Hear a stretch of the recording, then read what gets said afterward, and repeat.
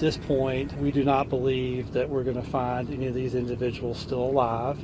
We are going to suspend the active search and rescue efforts. What remains of that structure now piles of twisted metal on top of a container ship after a nightmare unfolded early this morning. The whole bridge just fell down. A camera was recording around 1:30 a.m. You can see cars crossing the bridge as a ship called the Dali, with smoke pouring out of it, gets dangerously close to one of the bridge's pillars and then hits it, sending the massive bridge tumbling into the water. Be advised, the entire bridge, the entire key bridge in the harbor. Officials say an eight person construction crew was on the bridge fixing potholes. You can see lights blinking from their parked vehicles before the roadway crumbled. Rescuers found two survivors. Authorities say six people are missing. The construction company told NBC News they are presumed dead. Yo!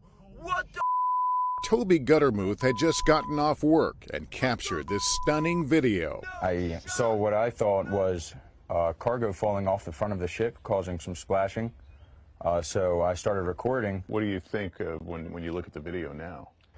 Uh, still in shock, definitely, in disbelief. Can't believe it happened, you know. Toby and his friend Christian Miller telling me they narrowly escaped the disaster. You had gone across that bridge. Oh yeah, we went across that bridge within within 30 minutes, roughly. of, of the accident. Yep. And we're ready to leave and go across that Right bridge back, again yep. at any minute. What did it sound like when, when the ship made impact? You could uh. just hear scraping, metal debris, debris hitting the water.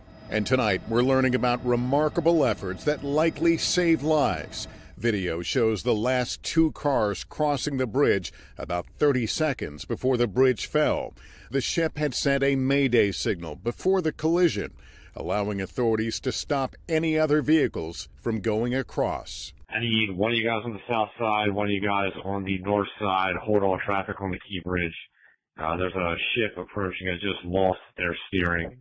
So that until you get that under control, we gotta stop all traffic. How is it that um, traffic was stopped in time, um, civilian traffic across the bridge? That is heroic work of some of our state law enforcement officers. They undoubtedly saved lives with their actions. Authorities say the ship had lost power and propulsion. You can see the lights go off and on multiple times before it hit the bridge. Shipping company Synergy Marine Group says the crew did not suffer injuries and it's cooperating with the investigation.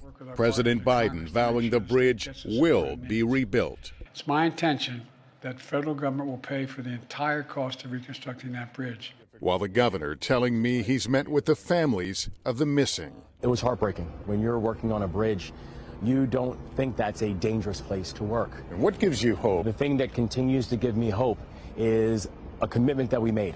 Um, that we are a place where we say we leave no one behind. And we made that commitment to the families, and we're going to continue searching. Thanks for watching. Stay updated about breaking news and top stories on the NBC News app or follow us on social media.